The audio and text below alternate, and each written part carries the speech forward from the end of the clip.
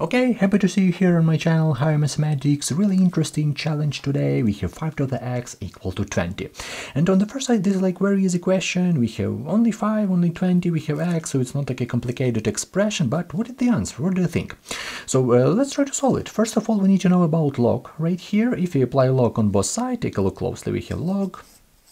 Right here we have 5 to the x on the left hand side and equal to log of 20. Yeah, so right here we have log on both sides. Nothing hard, just we need to know about log. What we need to do next? Uh, x goes right here. This is the main log property. We need to know this property and we have like x times log 5 equal to log log 20. Yeah, and uh, we, we can find easily our x because right here we can divide both sides by uh, log 5 and we have as a result x equal to log 20 over log 5 but this is a very bad solution uh, not solution very bad answer because we can can simplify this a little bit and let's do this right now. Let's simplify this expression log 20 over log 5 because we can do this. I feel like we can do this. So we have log 20 over log log 5 uh, in our denominator we have 5, so it's not a good number, we cannot express this in a, as a product, but 20 we can express as a product, so we can write it as, as uh, 4 times 5, so we have like log, in parentheses we have 4 times 5, and all over log, all over log 5, yeah, equal to uh, right here we have a log of a product of two numbers. Yeah, if you know a little bit about log properties, we can write it as sum of two logs. Okay, this is uh, like log property. If we have multiplication, we uh, works with addition, and if we have subtraction, we work with division. So we have like log 4 plus log 5 all over log 5.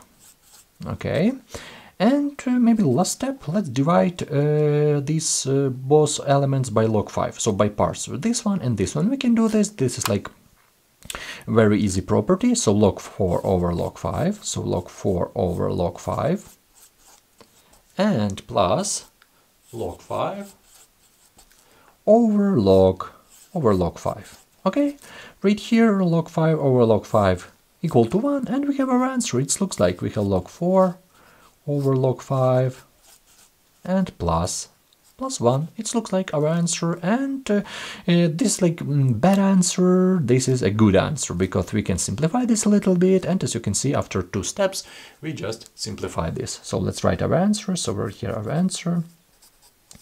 Our answer. I hope you understand this. X equal to log 4 over log 5 and plus 1. This is our answer. I hope you understand my explanation and I hope you understand this solution of course. This is very great question. On the first side, this is like easy question because we have nothing hard on the first side 5 20 we have x and it looks like a, a, easy question but as you can see with log uh, maybe not that easy but with really interesting tricks and moments so i hope you i hope you learned something new in this video so i wish you all the best i hope you understand this explanation and if it's not hard to you you can easily support me with like and any comments. It helps me a lot and it, it uh, keeps my channel alive and helps a lot and inspires me a lot.